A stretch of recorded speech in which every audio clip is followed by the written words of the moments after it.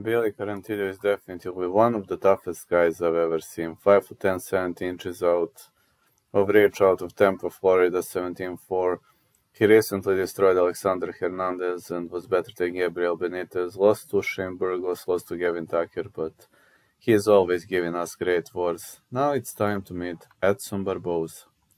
5 foot 11, 75 inches of reach, great mouth, high taekwondo fighter, and uh, 22 wins, 11 losses.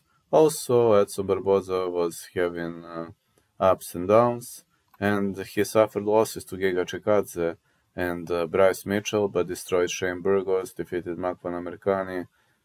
He was fighting high level names, and let's be honest, this is going to be toe to toe battle. This is going to be one of the best wars I've ever seen. Billy Quarantillo will be pressing forward. He's that type of a guy, he's a brawler. Barboza can fight technically, but against Billy Quarantillo, you simply can't fight like that. You must be ready to earn the bonus for the fight of the night, and this could be the fight of the night. I'm gonna go with fight starts round 3. If I must pick a side, I would love to see Barboza winning, but I just think Quarantillo is too tough. But let's see, fight starts round 3.